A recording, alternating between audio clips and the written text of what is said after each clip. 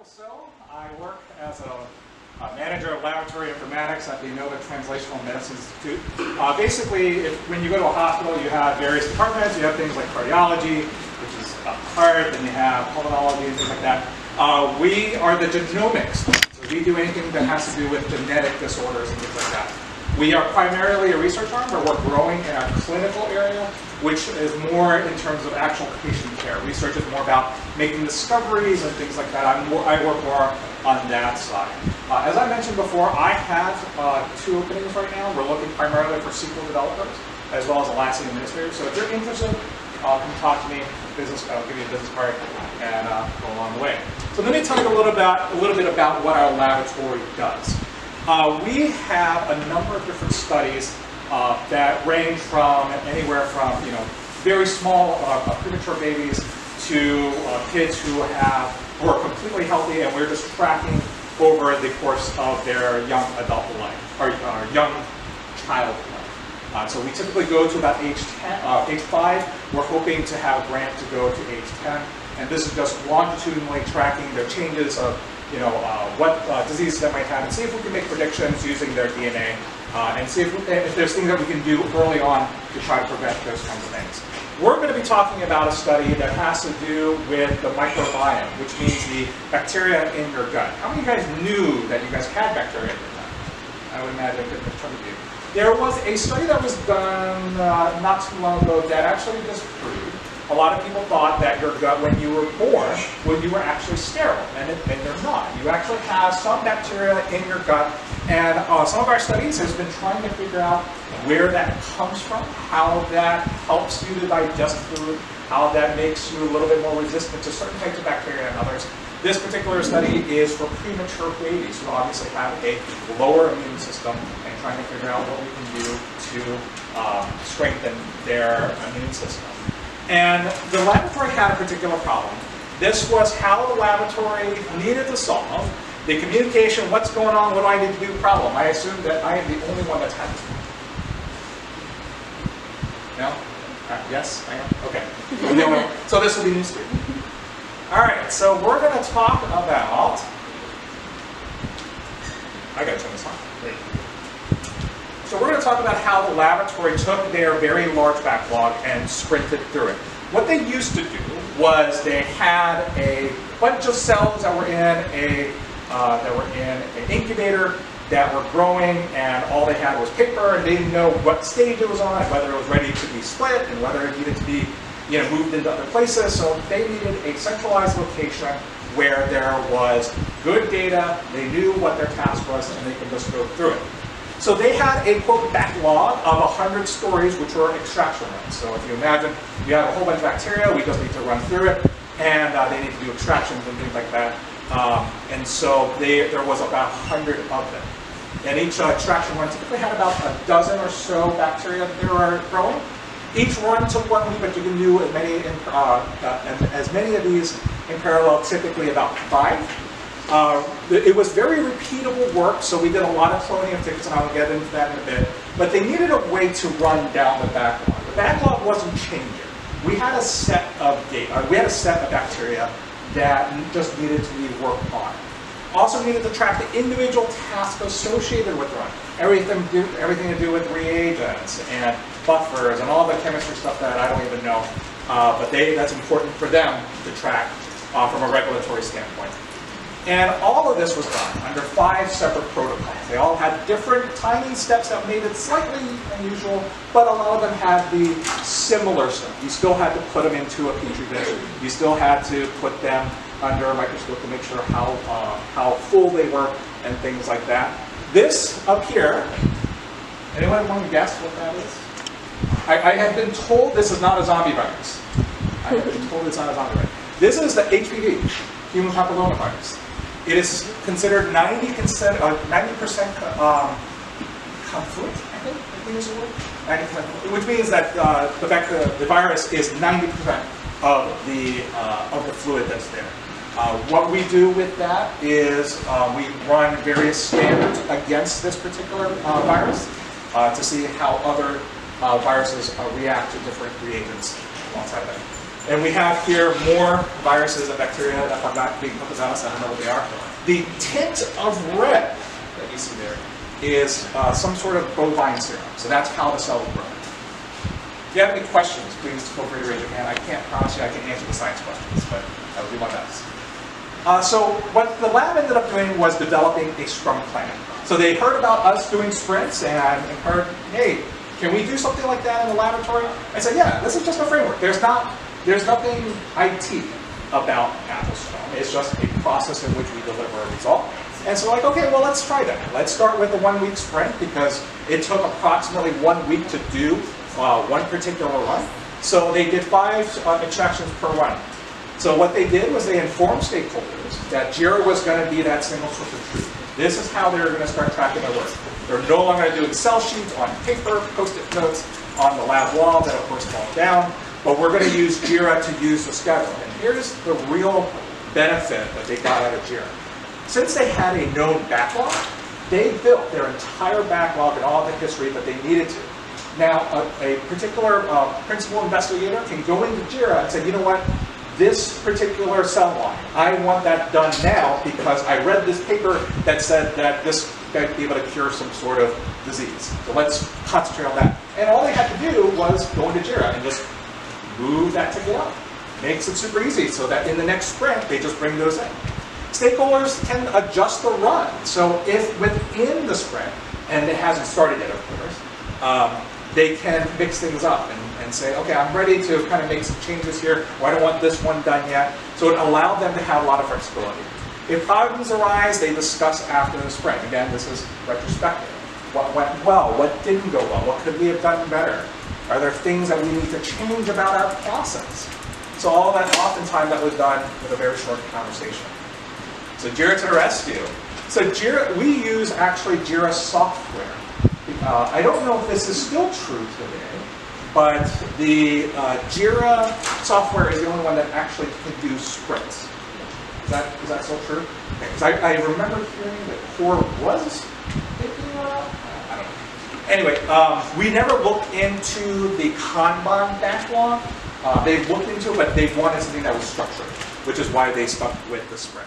So built out within that one ticket all the steps that they heard about. So whether it was incubated, whether which, uh, which reagent they ended up using, how much of that reagent, where they put the sample, things like that. Things that otherwise you would have to do over email. What if someone was on vacation? Where was all that information? Now there was one spot to have it all. And then all they did after that was they just duplicated the ticket over and over again. The only side effect they got from this was that a lot of tickets said clone, clone, clone, clone, And so we were not able to find a quick way to fix that, and so they just dumped it. So you can see here in our uh, screenshot that uh, this is uh, sprint number nine, which uh, this is the last sprint they ended up working on. You can see that they're uh, currently in progress, I think. And then uh, here in um, in the actual sprint or the agile the agile Kanban board that they can just move the task from to do in progress and done. So what was the result of this? Better communication, of course. That's what JIRA is really good for, is that if you want to have all that information in one spot, so you don't have to think about it, it's a single source of truth, JIRA is there. And everyone got really good at communicating that because everyone realized that if there was better communication on, on the ticket, everybody was happy. um, the higher-ups could also see the details uh, but they could also observe the overall process. And this is where things really worked for them. Like I said, they have five, they had five different studies, which essentially means five different bosses. Five different people telling you one thing over and over. They said, look, we just want to do the lab work. You guys figure out amongst yourselves how you want this done. Once you set that in the backlog, we will just take the next five and go from there. Study investigators can change their mind whenever they want it. I'm sure that this is a surprise to some of you requirements change from time to time, even in the laboratory. And they needed a quick way to be able to solve that. Giving the PIs the ability to go in here and mess things around and change the sprint uh, or change our future sprints was really beneficial to them. Non-project managers could actually manage the project. There was nothing special about Jira. These, this was a tool that all of them had used at one point or another during their career at ITMI. And all they had to do was just be more familiar with the particular workflow they were in. And it was just as simple as to do and projects and done. The micromanagement was left to the microorganisms. Mm, I like that. So let me give you, give, you- guys some actual quotes from the library, uh, from the laboratory. Much easier to do than ticketing. So we have a really hard way of doing ticketing, something that we have, we in our IT department have been trying to fix. Uh, but they found that this was a lot easier, even though we told them it's basically the same thing. But for them, it was easier. We were happy for the win. Uh, email is a bad way to communicate. Commenting in Jira was just the correct thing to do, and it was it was good to hear that from our end. The end user saying that all of our information now just needs to be in Jira. And finally, this was uh, Nicole, which is a, a friend of Aaron's. Without Scrum, it would have been a cluster frac. I'll let you figure out the word there. And so, you know, at the end of the day, what they really enjoyed was that they could use an agile process, which, you know, we just simply gave them the framework and figured out that they can do their lab work this way. The lab is currently undergoing an overall process to now Agile Scrum a lot of their other activities. To the point where we, are, we have started to work with them to help, uh, to help create the Jira projects and all of the ticket issue types and things like that, and just helping them get their work off the ground and help them work smarter and not harder. And at this time, I'm more than happy to answer any questions that you guys might have about Jira or about the Agile Sprint process or about what we do. Yes. Did your team use any Jira reports?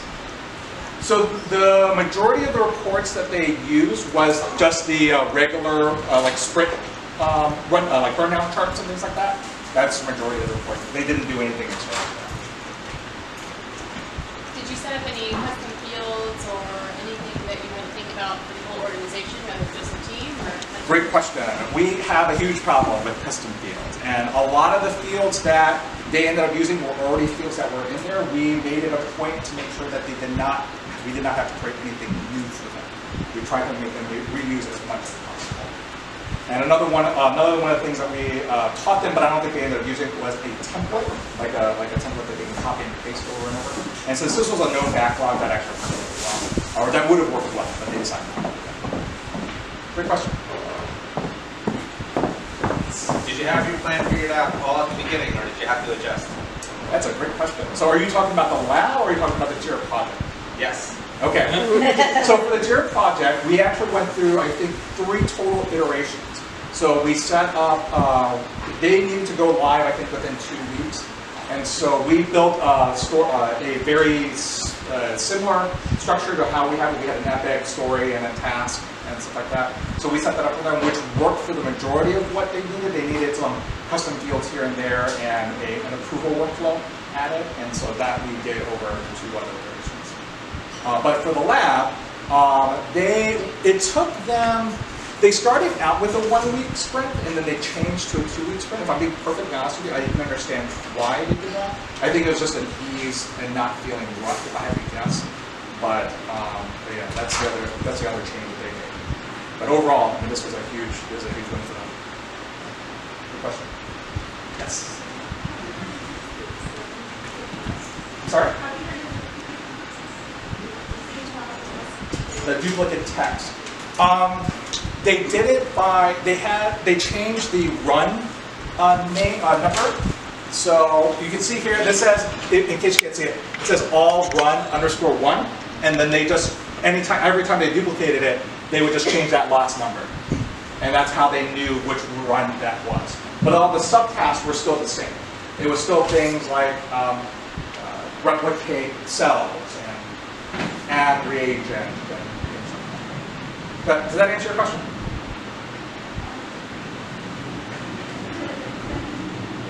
You did some work items in one sprint, right? So then another set of work items. So there could be a chance that you want to do in one, like with with the same code, two or three lines, sprints, and change requests or. I'm- I'm not sure if I'm if I'm understanding your question correctly. Can you say that one more time? I mean, I'm thinking that if you did one change request in one sprint, like with the properties to be, I could get it into the same user and how can I apologize to Okay, so if I'm understanding your question is how did the lab differentiate between uh, a task that was done in sprint one to sprint at sprint three? Okay, so um, in Jira, uh, this the this top level here is the story level, and this connects to all of the tasks that are underneath it. So even though the subtasks were named exactly the same, um, they knew that it was part of that master story ticket because of how it rolled up in Jira. Does that make sense? So, uh, for example, sample prep, you can see extraction and cleanup is done for, uh, I think I scrolled down, there's a, there's a, um, a ticket up here, and then you can see extraction and cleanup here, and then sample prep is down here. They just do that because they all rolled up to the story. That's a great question, though. That's a great question. Yes. Do you use any automation in your projects? And if it- for this specifically or any other projects in Jira? Do we use any automation? No, we do not. We want to. Um, for example, one of the things that we've been wanting to do for a long time is have our GitHub be able to call back in to be able to create an instance or something like that. Um, but due to various firewall restrictions at a hospital level, it has been very much frowned upon. So we've been trying to figure out ways around that. Did you guys switch to local hosting? Uh, we are at AWS. We're self-hosted at AWS. And so the AWS world and the clinical and, and our hospital world has different rules. Officially, they're not allowed to communicate. Yeah. Officially, we're being recorded, so I'm going to stick to that line. That's a great question. Do you have a question, Sergey? Uh, Yeah, um, who introduced that uh, technology to the team? Uh, I think that uh, team mem- members were not aware about Jira maybe because they are scientists. Were they aware about like Yes. those technologies? Isn't, was it a consensus between uh, like within the team? Oh, let's use these technologies. Uh, that's a, yeah, that's a great question. So the scientists, the entire department overall is familiar with Jira just because it is the ticketing system. Uh, our organization has a tremendous benefit from Inova, I'm sorry, from Atlassian. The fact that we're a nonprofit, we actually get Jira, Confluence, and all that stuff for free, uh, which is a great benefit for us. And we do everything we can to pay that back with uh, talks like this. And so we're not here to uh, we're not here to uh, get money from you. We're actually here to pay back.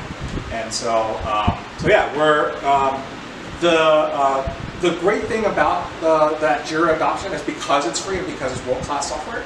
Uh, a lot of the scientists know that this is how we get our work done. So if they want, let's say, a new keyboard, they know they have to log into Jira and submit a Jira ticket so that, that that's tracked. And so they're familiar with the mechanics of it. Does, does, does that answer your question? Um, partly because uh, so I was under the impression that Jira is like for IT guys, like for programmers, for like uh, managers. Common misconception, yeah. And uh, so I, I see now Jira is much wider now. Maybe Yes. maybe, maybe I'm out of date. So maybe it was like five years ago, stuff like this. No, no, no. Yeah, I think um, I would agree with you that I think when I first learned about Jira, I saw it as an IT tool. Uh, but you know, when you go down deep into the bones of it, it's it's a project management tool.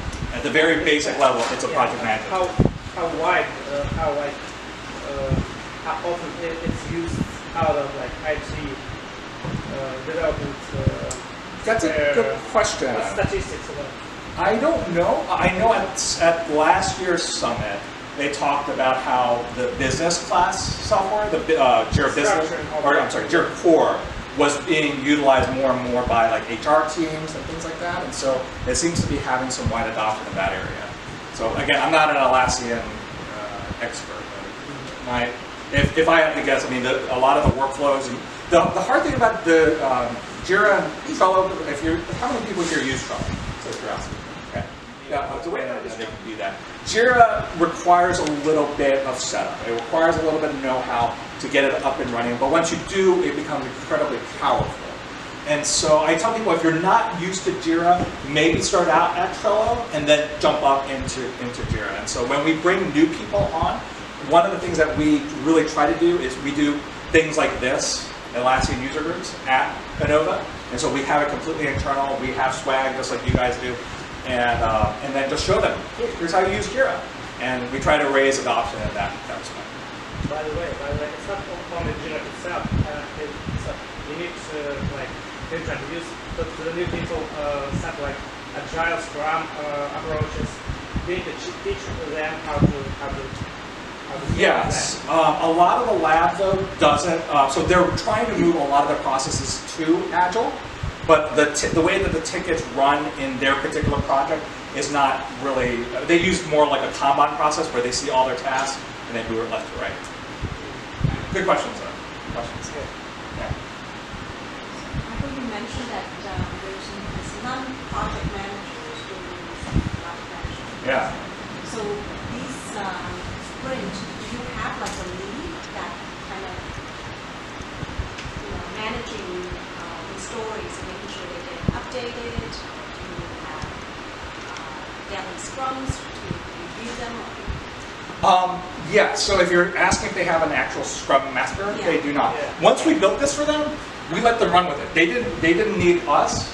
They, this was 100% user managed. And so uh, once we show them, uh, what we, our big, our big um, trumpet is we teach you how to fish. We don't give you fishes, we teach you how to fish. So once we taught them how to do this, they ran with it and they loved it. And for uh, for things like uh, for things like moving the, the tickets around, they didn't know that you could do that. And once we showed them that, their their productivity improved because they felt like they had to they had to find the ticket, they had to search for it. When really all they needed to do was just go to boards, go to their uh, go to their microbiome board, and then this would just show up automatically. they update on their own? They do, yeah, because they knew how important it was. Yeah. Great question. Great question. I use that on my team. Yeah. Not saying that project managers aren't important. They like, they, you know, you have to love them. Yeah. Not saying that project managers aren't important. Uh, but these are these are lab these are scientists. These are laboratory people that you know for them uh, what they cared about was you know making sure that the cells grew up and they did all the right things from a regulatory perspective. This was just the hammer to get them there. That was it. They didn't want to know like the inner workings of, you know, what's the difference between an epic and a story. I mean, we told them that, but at the end of the day, all they all, all that mattered to them was how did how did they get their work done. And at the end of the day, that's what every Jira administrator wants, is that they want to get the work done. And anything that a Jira administrator can do to enable that, that's a win. Great question. Yes. They use only Jira or um, they use Confluence it, like a node uh, management or something like that? So that's a great question. So for this particular project, all of the work is tracked in Jira. All of the regulatory, like how do you do this? What's the SOP? You know, all that stuff. All that's managed in Confluence. Yeah. Great question. Great question. Do you have any add-ons that you use with them? This is a hard question to answer because because we get Atlassian for free, we also get the plugins for free. So we actually curious if you got. We did, we do, and the difficult part, the difficult job that we have is that it's like we go to a buffet. We have Mhm. we overeat. So our our um, our instance is quite large. It's a M4 extra large at this point, Mm. and we're using four. Uh, we had to raise the memory on the virtual machine to about four gigs at this point, and so we're like, we we this is not sustainable. Just because it's free doesn't mean that we should keep eating. Right. And, um, and so one of the one of the things that we're trying to do is I try to identify the plugins that aren't being used anymore and try to not renew them and see if anyone complains. And so if they do, then we know that this is still needed. But what, what we're trying to gauge is making sure that um, you know if we're just we're trying to be good citizens essentially. Is that know, we're not trying to overeat and making sure that we're doing the right things. But overall yes, we do have a lot of plugins more than Do you have this workflow or something? I don't know. I mean, it's like a basic one that a lot of people have, so. Yeah, it's, it's quite possible. Yeah. Are you getting free AWS also? No, no. Um, although I will admit, Run that next to large. I will admit that AWS has given us a very large grant, not to do this, but to do other things with our microbiome and things like that, machine learning, and AI, and all that other kind of stuff. Can I ask you what your bill looks like in AWS then at the end of the? I'm more than happy to answer that question. It's our, believe it or not, most of our problems are in storage. So uh, average DNA uh, sequence from Billy, you, or anyone else. 90 gigs compressed per person. We have about 2,000 families. That's at least two people, mom and baby, usually dad is included. We're in petabytes.